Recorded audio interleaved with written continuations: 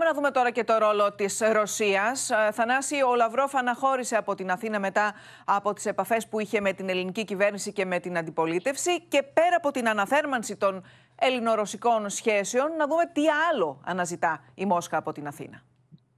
Καλό μεσημέρι, Λίνα. Ω γνωστόν, οι επισκέψεις Υπουργών Εξωτερικών σπάνια παράγουν θαύματα, αν δεν έχουν από πριν αυτά προετοιμαστεί. Επομένως, με τον Σεργέη Λαυρόφ ξαναπιάσαμε το νήμα στις ελληνορωσικές σχέσεις και από μόνο του αυτό είναι θετικό. Οι δύο πλευρές εξέφρασαν την αμοιβαία δέσμευσή τους για αύξηση της οικονομικής μας συνεργασίας και επειδή βέβαια σπουδαία κοινά ενεργειακά ή άλλα έργα δεν υπάρχουν υποκατασκευή ή σχεδίαση, λόγος γίνεται κυρίως για το εμπόριο και τον τουρισμό, όταν βέβαια ξανανοίξουν οι πτήσει για όλους προς το τέλος της πανδημίας ε, του κορονοϊού. Προσωπική μου αίσθηση, επειδή και πολλοί με ρωτούν, ε, έχουν αποκλειστεί άνθρωποι και στις δύο χώρες, ε, νομίζω πως δεν θα συμβεί αυτό πριν περάσει ο χειμώνας.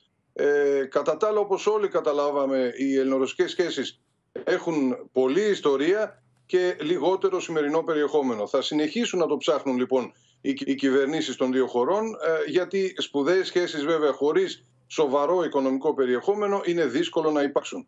Ως προς το κοινό έτος ιστορίας ε, που θα είναι η επόμενη χρονιά, φαίνεται ότι ο Βλαντίμιρ Πούτιν, αν όλα πάνε καλά, θα συμμετάσχει στους μεγάλους κεντρικούς εορτασμούς ε, για τα 200 χρόνια της Επανάστασης του 1921, ε, κάπου εκεί το Μάρτιο. Ε, σε σχέση με τα ελληνοτουρκικά, η Μόσχα δήλωσε πρόθυμη να διευκολύνει ως μεσολαβητής εάν το επιθυμούν οι δύο πλευρές και κατέθεσε βέβαια στην Αθήνα και μια ρηξικέλευθη πρόταση για τα τεκτενόμενα στην Ανατολική Μεσόγειο. Την απλοποιώ, αντί να χτίζουμε στρατόπεδα προσφύγων στα νησιά, γιατί να μην χτίζουμε χωριά εντός της Συρίας ώστε να αξιοποιηθούν και οι πρόσφυγες και ενδεχομένως ελληνικές κατασκευαστικές εταιρείες. Όμως φαίνεται ότι είναι μια πρόταση πολύ προωθημένη για τις ελληνικές ε, δυνατότητες. Ε, την πρόταση αυτή γνωρίζω ότι η Ρωσία τη συζητά και συνολικά με την Ευρωπαϊκή Ένωση. Μακάρι να υπάρξουν αλλαγές ε, στην πολιτική έναντι της Συρίας. Θανάση, να σε ευχαριστήσω και εσένα πολύ για το ρεπορτάζ.